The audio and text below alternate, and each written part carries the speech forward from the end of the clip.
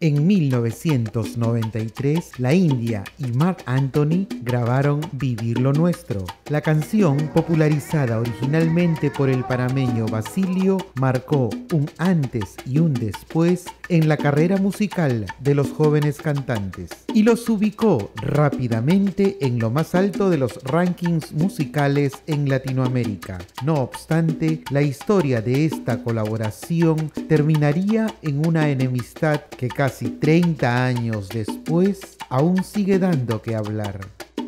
¿Qué pasó?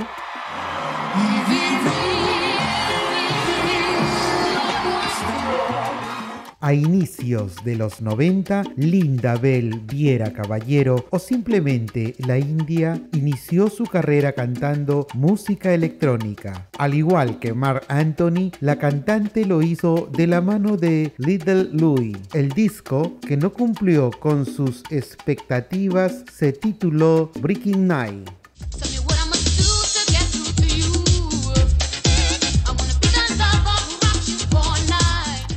Sin embargo, la India tendría una nueva oportunidad para su carrera. Aquello ocurrió en 1992 cuando de la mano de Eddie Palmieri grabó el álbum Llegó la India. Mi primera rumba fue el número que le ganó el respeto de los alceros.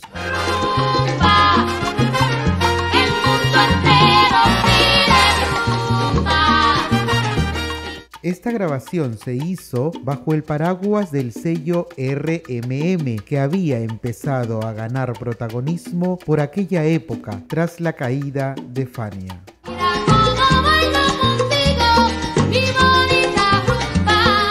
Por ese entonces, Mark Anthony empezaba a trabajar en Otra Nota, su primer álbum de salsa, también para la discográfica de Ralph Mercado. Aquella producción se lanzó en 1993 e incluyó temas que serían trascendentales en su repertorio como El último beso, Hasta que te conocí y Si tú no te fueras.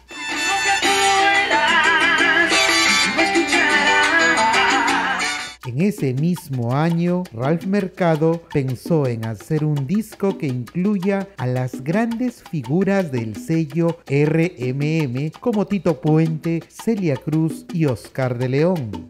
Mercado juntó todos los grandes salseros.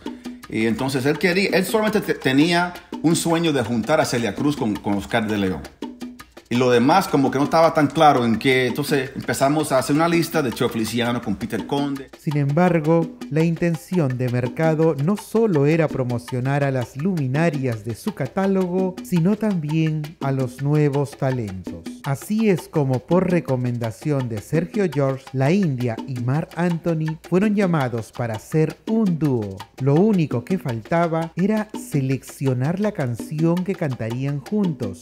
Me acordé del tema y entonces le dije a Marc Anthony la India, este tema Bill nuestro lo quiero grabar con ustedes.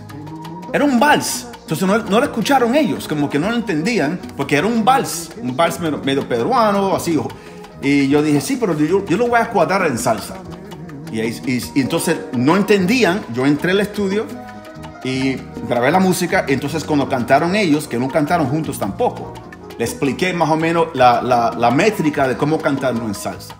Vivir lo Nuestro se grabó y fue incluido en la producción Familia RMM. El trabajo, que también incluyó material audiovisual, dejó éxitos como Llegó el sabor, Sonero de bailadores y No vale la pena enamorarse. Vivir lo nuestro sin duda fue uno de los grandes aciertos del sello musical. Y volar, volar, lejos. Tras el éxito de Vivir lo Nuestro, las carreras de Mark Anthony y la India despegaron. Sin embargo, por problemas que no han sido esclarecidos a profundidad, la química que ambos inmortalizaron en tarima se rompería para siempre fuera de los escenarios. ¿Qué ocurrió realmente? Con los años, ambos artistas han dado su propia versión de los hechos. ¿Qué sientes cuando escuchas la canción Vivir lo Nuestro con Marc Anthony? Divino. Fue un trabajo que se hizo con mucho cariño, con mucha intensidad. Y hoy en día pues la gente se queda con las ganas, pero no, no puede pasar nada, ¿no? porque en realidad soy yo la diva. Y si habla mal de mí, pues no lo conozco. La grabé con una, con una tipa ahí media rara. Que no me cae bien. Pero la canción es definitivamente una de mis favoritas. En 2017, Anthony sufrió la pérdida de su madre y en ese marco de dolor, India tuvo unas palabras de pésame para el cantante. Yo sé que debe de ser bien fuerte para él porque yo sé que él, este, ellos se amaban muchísimo, ¿ves? Entonces puede ser pésame, claro, está con él, tú sabes, porque me rompió el alma, me dio mucha pena saber que ella se muriera. Fue una mujer que siempre lo apoyó muchísimo. Pero todo quedó allí. De esa fecha a la actualidad no hubo ningún acercamiento entre ambos.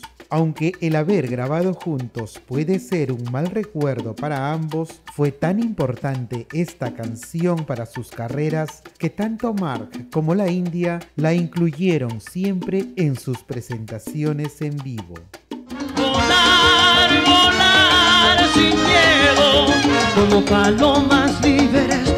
Libres como el viento. Y vivir, vivir nuestro.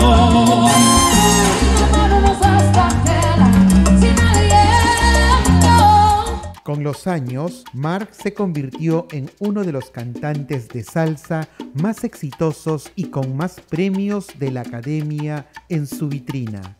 En tanto, la India grabó con Tito Puente y luego hizo una carrera importante como solista. Y aunque con todo este recorrido parezca lejano un reencuentro, para sus fanáticos siempre quedará la esperanza de algún día verlos cantar juntos nuevamente.